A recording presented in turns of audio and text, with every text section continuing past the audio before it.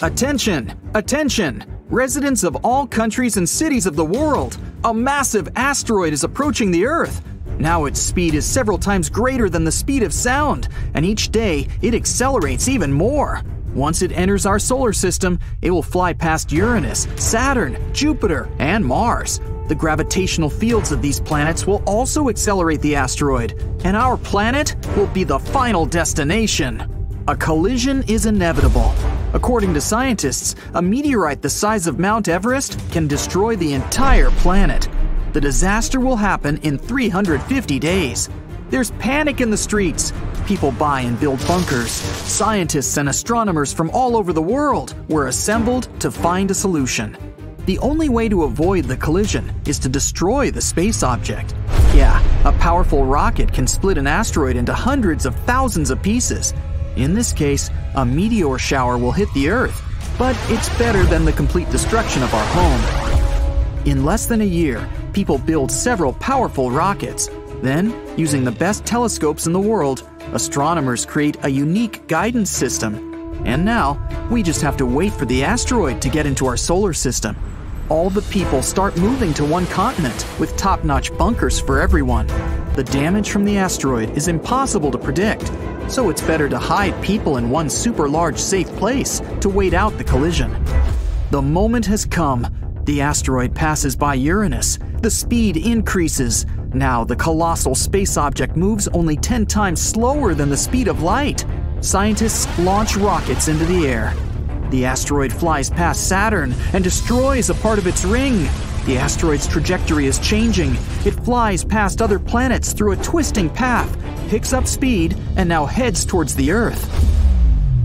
The rockets leave a long trail of fire behind and reach the speed of sound. They're getting closer to the asteroid. Near Mars, a collision happens. The rockets hit the target. The asteroid explodes and splits into millions of particles. All the pieces fly in different directions. The Earth is saved. At this moment, the Earth's satellites record a huge burst of energy. A small part of the asteroid is headed towards Earth. It's tiny, about the size of a grain of sand. But the explosion accelerated it, and now the grain of sand is flying towards the Earth at a speed of 185,000 miles per second, which is 99% of the speed of light. At this speed, the grain has almost the same destructive power that the entire asteroid had. It's approaching the moon. A few more seconds, and the grain of sand will hit our planet. All the people are waiting with bated breath. The grain gets such incredible power because of the laws of physics. The greater the speed any object is, the more mass and energy it has. When the grain of sand reaches a speed close to the speed of light, its energy and mass begin to increase dramatically. You can't even see this tiny grain of sand, but inside, it has the mass of an entire continent. If the grain reaches the speed of light, its mass will be infinite and then a black hole will appear. In this case, all living and even inanimate things on the planet will disappear. Trees, seas, and oceans, all the cities, countries, and continents, air, sound, atmosphere, any molecule of the Earth, everything will be absorbed by the incredible gravitational force of the black hole. Then, when there is no trace of our planet, the hole will take over the moon. The gravitational force will grow and absorb other planets of the solar system. Soon, it will reach the sun. Our star will split into thousands of strips like spaghetti and will emit a tremendous amount of energy. This could trigger the birth of a second black hole, but fortunately, we only have 99% of the speed of light, which changes everything. Also, no object that has mass can reach the speed of light. The grain of sand enters the Earth's atmosphere. From the outside, it looks like a blinding meteor that pierces the sky. The grain heats up, passing through the layers of the atmosphere. Clouds within a radius of 100 miles around are burning up. The sky becomes crystal clear.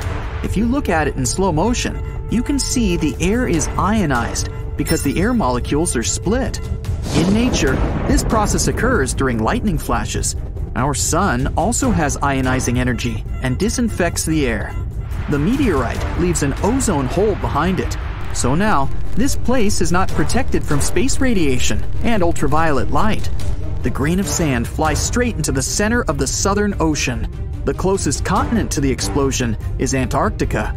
The air around it warms up and mixes with the cold temperature of the ocean, creating hurricanes. As soon as the grain approaches the ocean surface, the water starts boiling.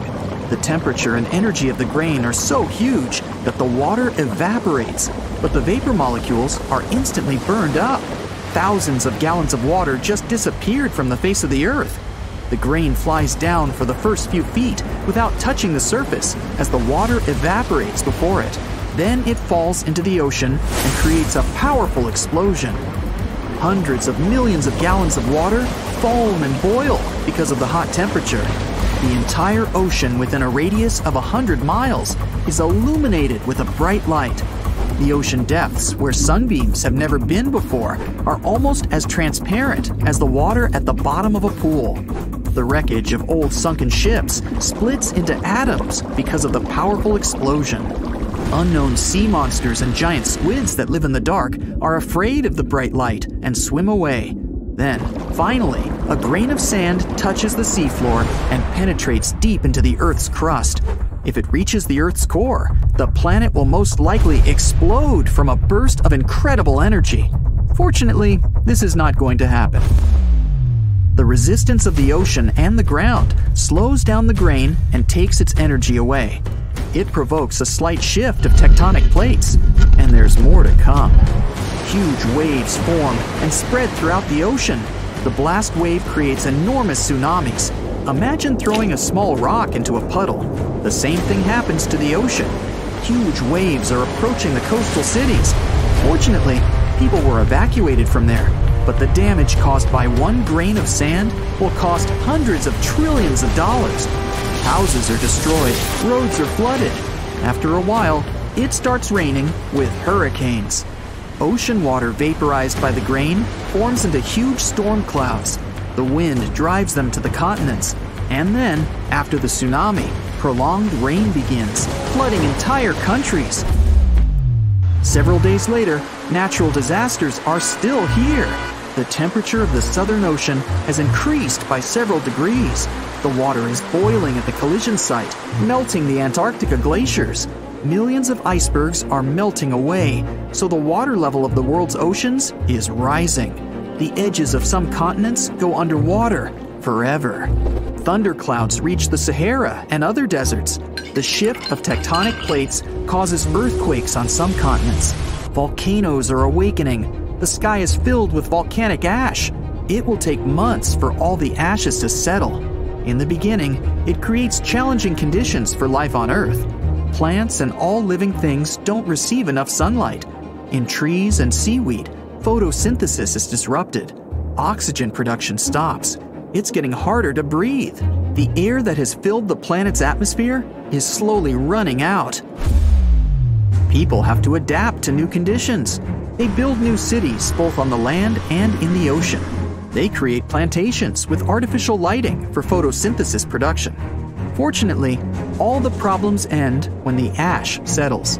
Inside the volcanoes, there's hot magma flowing.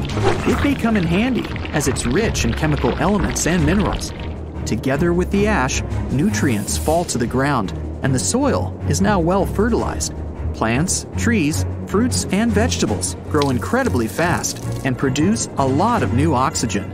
The Sahara is filled with blooming flowers now, and it looks more like a meadow with flowers, not a desert. The grain of sand just renewed the planet instead of destroying it.